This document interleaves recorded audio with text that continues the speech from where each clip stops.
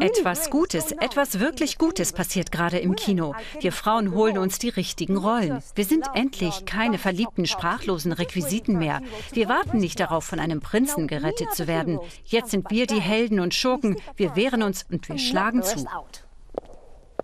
Wir sind da, um die Welt und sogar die Galaxie zu retten.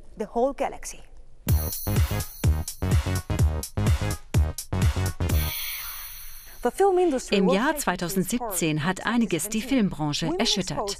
Hinter der Kamera haben Frauen sexuelle Übergriffe auffliegen lassen, Skandale. Eine Bombe nach der nächsten schlägt ein. Vor der Kamera haben Frauen ihre Superkräfte gezeigt, in den Filmen wie Wonder Woman oder Star Wars. Nur ein Zufall? Ich glaube nicht. Egal, ob im Alltag oder im Kino.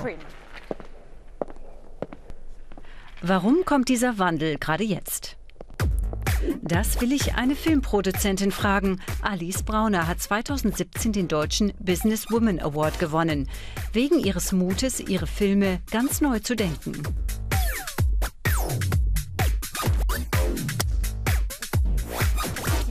Was brauchen wir, damit wir ein gleichgewichtiges Geschlecht auf der Leinwand bekommen?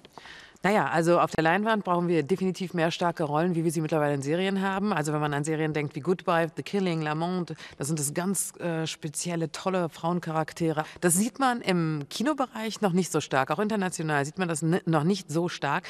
2017 war ein sehr, sehr gutes Jahr. Wir haben Filme wie Shape of Water, wir haben Filme wie Three Billboards uh, Outside Ebbing, Missouri, Frances McDormand. Das sind ganz, ganz starke Frauenrollen. Aber wir brauchen viel, viel mehr davon und ehrlich gesagt auch hinter der Kamera viel mehr mutige Frauen. Was würde das ändern, wenn Frauen die Hauptrollen übernehmen in dem Film? Film prägt ja die Gesellschaft sehr stark. Dann kriegt man auch einen anderen Respekt gegenüber Frauen. Dann wird man auch in der Gesellschaft anders mit Frauen umgehen. Das zeigt sich so oft. Also man sieht es ja schon an den Serien, ja. Man respektiert Frauen als Top-Anwältinnen. Man respektiert Frauen als Top-Ermittlerinnen. Sie meinen also, dass die Filme ein bisschen die Realität verändern können oder sie beeinflussen könnten?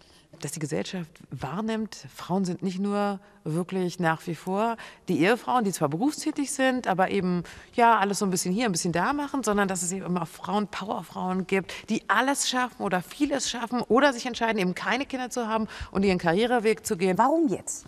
Die Diskussion gibt es schon sehr, sehr lange und wahrscheinlich haben sich auch in Amerika äh, ein paar Leute Gedanken gemacht und haben gesagt und haben Stoffe gesucht, in denen wirklich starke Frauen verkörpert werden. Also auch zum Beispiel Steven Spielbergs Die Verlegerin mit einer grandiosen Meryl Streep in der Hauptrolle. Ich würde sagen, man hat wirklich äh, fokussiert und konzentriert nach äh, Stoffen gesucht, äh, die starke Frauencharaktere beschreiben und zwar in einer außergewöhnlichen Art und Weise.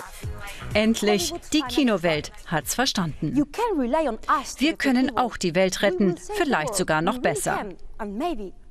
Und unsere Männer neben uns im Kinosessel haben auch was davon. Auch hier müssen sie nicht mehr den Helden spielen. Sie können sich entspannt zurücklehnen und vielleicht auch mal weinen.